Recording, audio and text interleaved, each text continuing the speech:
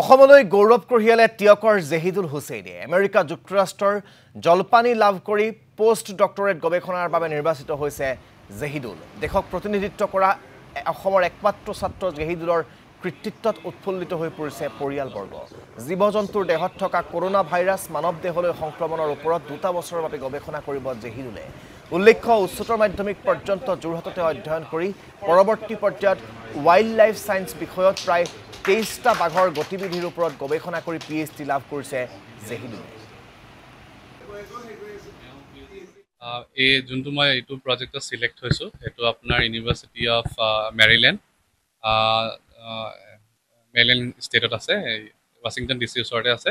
এই প্ৰজেক্টটো বেচিকেলি মানে আপোনাৰ ক'ভিড ভাইৰাছৰ ওপৰত মানে মানে তাতে এটা ডিয়াৰ পায় হোৱাইট টেইল ডিয়াৰ যোনটো মানে কেনেকৈ ট্ৰান্সমিশ্যন হয় হিউমেন ৱাইল্ড লাইফ ইণ্টাৰেকশ্যনৰ ওপৰত তো সেইটোৰ ওপৰত এইটো অধ্যয়ন আছে এইটো টু ইয়েৰ প্ৰজেক্ট হয় যোনটোত মই চিলেক্ট হৈছোঁ এইটো fully funded by U S government আৰু এইটো কাৰণে মই ইণ্টাৰভিউ দিছিলোঁ লাষ্ট ইয়েৰ ইণ্টাৰভিউ দিছিলোঁ আৰু আঠ মাহমান লাগিলে প্ৰচেছটো পূৰা কমপ্লিট হ'বলৈ চিলেকশ্যনৰ পৰা পূৰা ভিজালৈকে আৰু মই অহা পঁচিছ তাৰিখলৈ গৈ আছোঁ ইউ এছ আৰু মোৰ জইনিং আছে জুলাই এক তাৰিখৰ পৰা।